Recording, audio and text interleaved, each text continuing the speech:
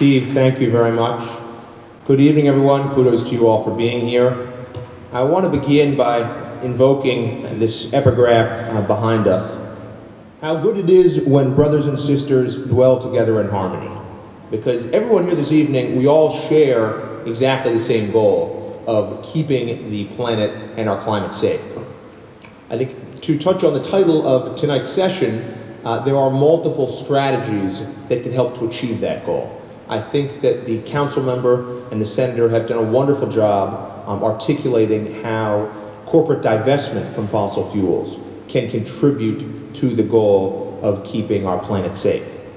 Uh, there are other strategies as well, and it is those strategies that I chiefly will talk about uh, in my remarks.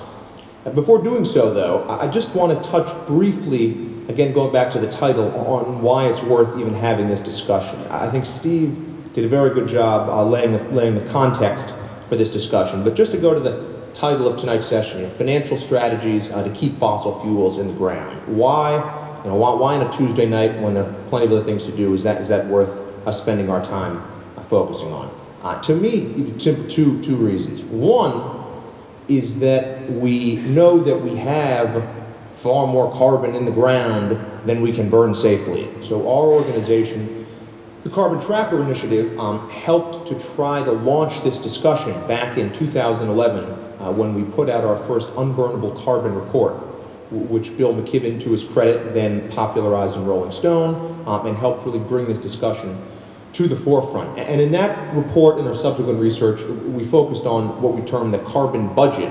I know that the council member understands budgets, so the carbon budget being basically the idea that to stay within any safe threshold for climate change. Two degrees, two degrees, which is really totally an upper, the, last, the, as high as we can go, but is something that's been endorsed by 103 nations, 193 nations in 2010. Uh, to do that, there's a budget of how much fossil fuels we can burn, 900 billion tons of CO2. Uh, and that is, if you look at, okay, so there's this budget, for listed fossil fuel companies, the Exxon Mobils, the Chevrons of the world, um, you know, how does that compare with the, with the listed reserves of these companies? It means that basically listed companies can burn one third of their proven reserves. To say nothing of broader category of resources, one third, one third. That's, that's two thirds less than everything. And it's certainly a lot less just out of interest. Uh, scientists at MIT recently calculated that if we burned you know, we can burn one third for two degrees. Business as usual, we're probably headed to about four degrees. If we burned everything in the ground, reserves, resources, coal, oil, and gas, uh, we would warm the planet about 9 degrees Celsius, 16 degrees Fahrenheit, at which point Earth would be unrecognizable. So as Steve said when beginning this, this really is you know, a matter of catastrophe that we're, that, that we're, that we're facing here. Uh, and, it's, and it's good to be reminded of that. So that's the too much carbon in the ground. The financial piece basically is relevant because to get all that carbon out of the ground requires investing a whole lot of money. So the, the, International Energy Agency estimates that in sort of a business as usual world, that four degree world, we're, the world over the next 20 years will invest about a trillion dollars a year in, in digging up, in transporting, and in refining coal, oil, and gas. Of that trillion dollars, uh, at least 200 billion of it is unnecessary. So one fifth is unnecessary if we're going to stay within two degrees, and I would argue probably more than that. Uh, this is our research at Carbon Tracker. We look at financially risky capital expenditures, um, and, and, and I, would, I would note, just for the purpose of this discussion, building on the senator's points um, about, about you know, um, fiduciary responsibility, there are many good reasons to to scrutinize these, these capital expenditures in getting fossil fuels, even independent of climate. The Senator touched on the performance of, of coal stocks. Uh, we've seen the second largest U.S. coal producer, Alpha Natural Resources, file for Chapter 11 earlier this week. The, the sector has been hammered. Um, and, and, I would argue that this is indicative of, of transformations, climate being only one driver that are going to occur for coal in other countries and also for oil and gas. So there are very there are good reasons, you know, to be thinking about this financial element even independent of climate. That's sort of the context. Question, what do we do about it? we've heard, I think, um, compelling, you know, very compelling discussion of the role that divestment can play in addressing those risks. I think we'll hear more from Brad on sort of the, the technical implementation side and, and, and, also from, from Geraldine. In the work that our organization does, we often advise uh, or counsel investors who are not going to divest for a variety of reasons, um, often either because sort of generally one of two reasons, or it could be a combination. They, they either um, are not convinced that it will have a sufficient impact on actually changing the behavior of fossil fuel companies, keeping carbon in the ground, or because they think that it will, it will either cost them money, either by removing certain investments, changing the style of investing. Um, I, I, can't, I can't speak for any one investor, but I'll, I'll just point as part of the discussion to um, a gentleman who is the CIO, the Chief Investment Officer of CalSTRS, the California State Teachers Retirement System, one of the largest U.S. pension funds, um, who, has, who has been quoted, CalSTRS being a fund that has that divested by state by statute from apartheid in the 1980s and then voluntarily from tobacco stocks in the 1990s. And uh, their chief investment officer has, has observed, in his view, that in both of those instances, divestment cost the state, cost the teacher's pension fund money, which is still tracked in their annual reports, and in neither case did it, did it affect the behavior of the companies from which they divested. One perspective, you can evaluate it on, on the merits, but this is, for some spectrum of institutional investors, um, that, would, that would be the view that they have. So the most important point that I'd like to make, which I think the prior speakers have touched on, is that that need not be the end of the discussion. And that there, is, there are many steps that investors can take to address the problem of unburnable carbon, of climate risk, that are uh, other than broad divestment from fossil fuels. I'm going to touch on I'm going to touch on two of these strategies, and I think that both Scott, uh, pardon me, and Shanna will be able to to elaborate on them in their remarks. So I would say that if you're if you're talking to a pension fund or an endowment, and you're at loggerheads over this divestment issue, uh, there there are two things that you should you say you're going to invest in fossil fuels, you know, for, for whatever reason, uh, that's okay. But you should you should want them to do two things. One, to be a smart investor, and, and to be what I would call sort of a two degree C aligned investor. And second of all, there should be an engaged investor. So what would it mean to be a smart investor? Well, as as Senator Krueger talked about, being a smart investor would mean, for example, not having been heavily invested in U.S. coal stocks uh, over the past five years. Uh, it, it, means looking at fossil fuels. And now the world's energy system, you know, we, we get about 75% of our energy from fossil fuels. Uh, to, to save the climate, that needs to trend downwards. Eventually, it, in 2070, 2060, it needs to go probably to zero and there are, there are roadmaps to show that. But even in the near term, it needs to begin trending downwards, most particularly for coal.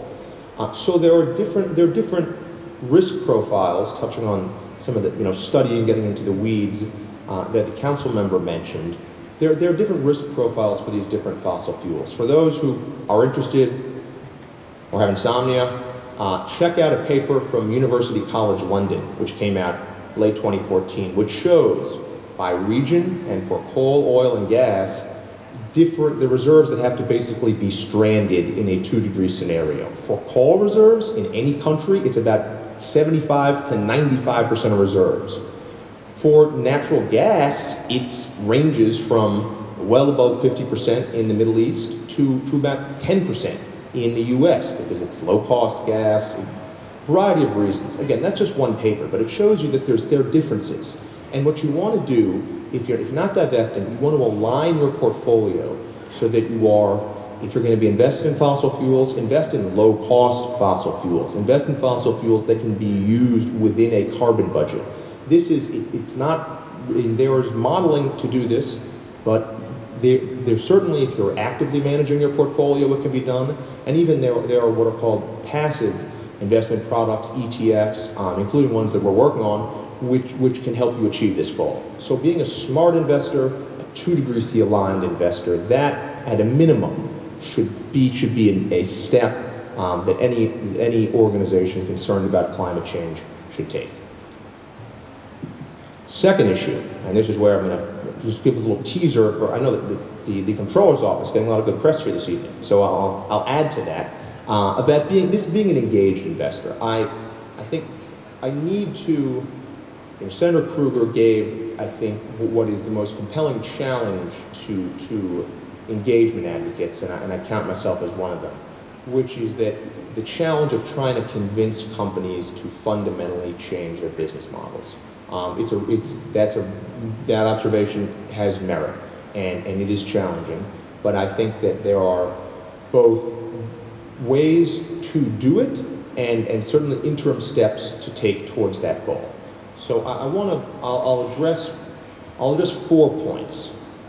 The first one, which is this gets to what the Comptroller's Office has done with their, with their boardroom accountability project, is that investors should follow the lead of the New York City Comptroller's Office in trying to make the boards of fossil fuel companies climate competent.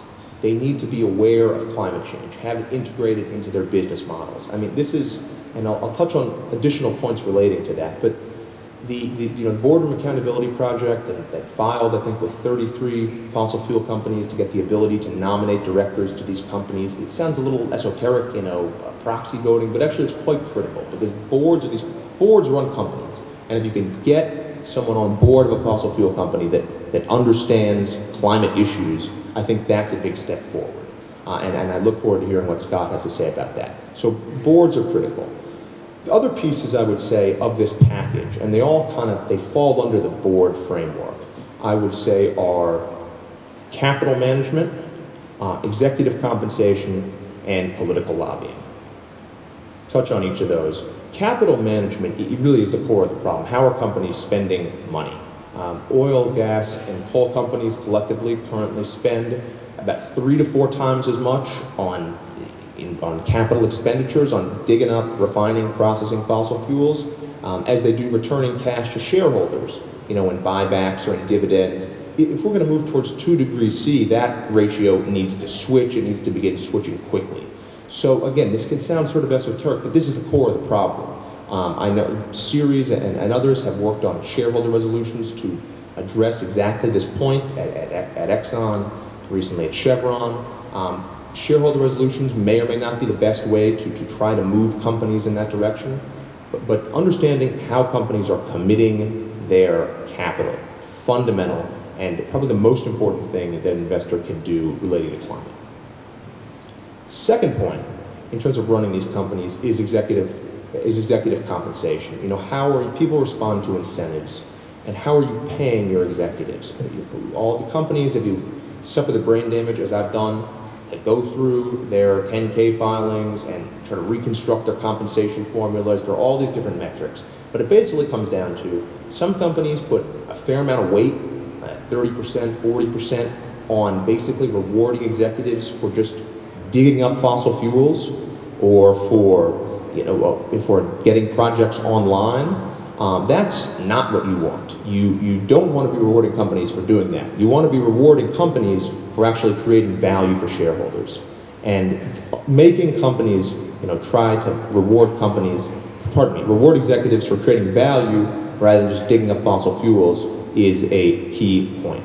Final point I would make is on political lobbying. This is something that, that in Europe is frequently talked about, I think is getting a view in the States. Um, you know, you have fossil fuel companies that, uh, particularly some of the larger um, oil and gas companies, there are six, six of the largest European oil and gas majors, Shell, Total, BP, you know, they all recently came out advocating for a carbon price. So the question that investors have put to these companies is if you believe in, if you believe in a carbon price, uh, why are you a member of industry bodies that actively lobby against climate legislation? And those, that discussion has, I think, borne some fruit. Just uh, three days ago, uh, Royal Dutch Shell withdrew from ALEC, which some of you may know. You know, so yeah. I certainly agree with that.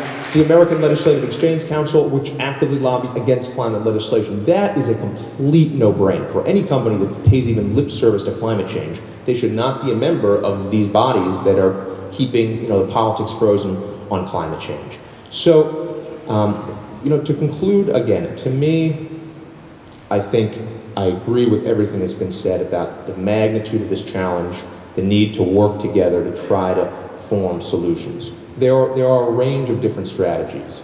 And I'll just put in that for those, you know, the people in this room who are putting in their precious time and effort to try to make progress on this issue, to try to mobilize financial markets to be aligned with a climate secure future, there is certainly that divestment that has helped attract attention to the issue, that has galvanized public awareness.